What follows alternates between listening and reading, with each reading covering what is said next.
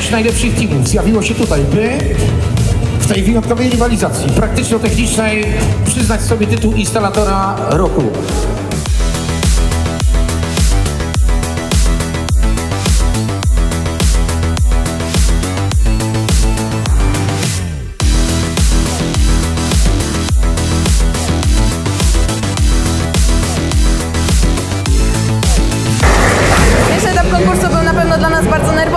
Ponieważ nie udało nam się odpowiedzieć prawidłowo na pytanie, natomiast zebraliśmy siły, bo wiedz- wiedzieliśmy, że musimy to zrobić dla naszych chłopaków który, którzy aktualnie walczą dalej.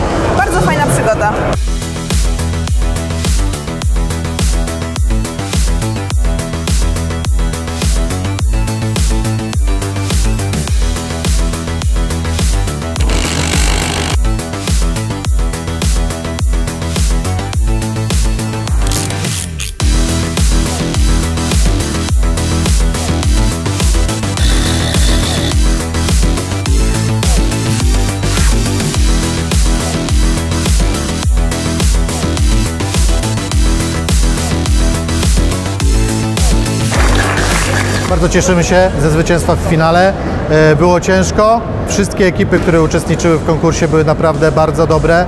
E, Różnice między nami przy eliminacji do kolejnych etapów były naprawdę minimalne, natomiast my okazaliśmy się najlepsi.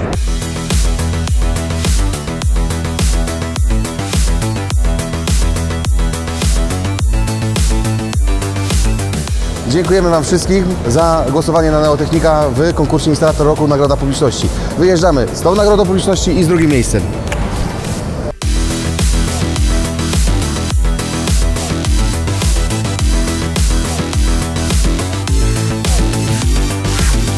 Dziś poznałem instalatorów w roku 2023 firmy Korab i mówię to z pełną odpowiedzialnością, są fenomenalni.